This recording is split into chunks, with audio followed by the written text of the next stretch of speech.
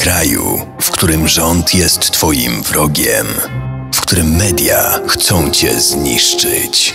Musimy się zjednoczyć i wprowadzić sprawiedliwość, pokój i miłość dla wszystkich, bo my jesteśmy ludźmi, jesteśmy Polakami i razem jesteśmy nie do zatrzymania.